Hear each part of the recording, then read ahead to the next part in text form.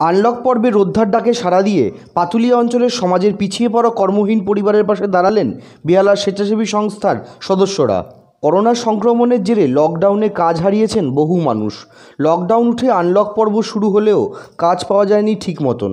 আর তাই এবার তাদের সহনাগরিকদের পাশে দাঁড়ালেন গ্রাম ও শহরের দুই স্বেচ্ছাসেবী সংগঠন খড়দহের রোদ্ধা এবং বেহালার স্বপ্নের খোঁজে।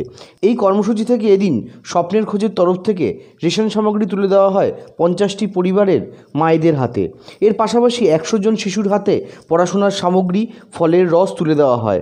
এই উদ্যোগ নিয়ে বলতে গিয়ে স্বপ্নের খোঁজের সদস্যা বসুমিত্রা বসু ভট্টাচার্য জানান, স্বপ্নের খোঁজে থেকে এসেছি। আজ রহড়া পাতুলিয়া কল্যাণনগর বটতলায়।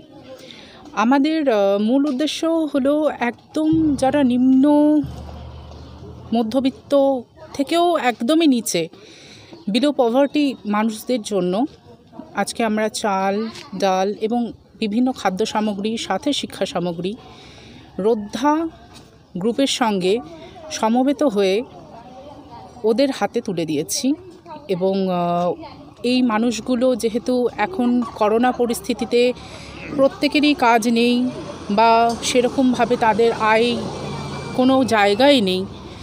অপরদিকে রোদ্ধার সদস্যা সোমা মজুমদার জানান, তাদের তরফে আবেদন জানানো হয়েছে সবাই যাতে অসহায় মানুষগুলির পাশে দাঁড়ায়। এ বিষয়ে বলতে গিয়ে তিনি জানান আজকে আমরা রোদ্ধা তরফ থেকে, আপনারা সবাই জানেন রোদ্ধা পুরো লকডাউন পিরিয়ডে কাজ করেছে। এখন আনলক পর্ব চলছে। আনলক পর্বে প্রচুর মানুষ অনেক অসুবিধায় আছে।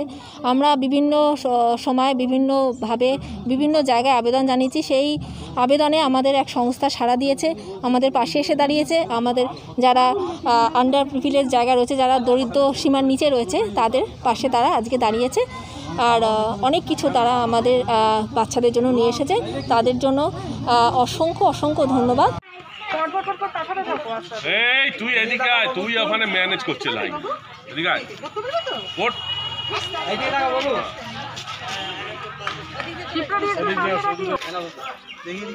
হাতে হাতে জল দে।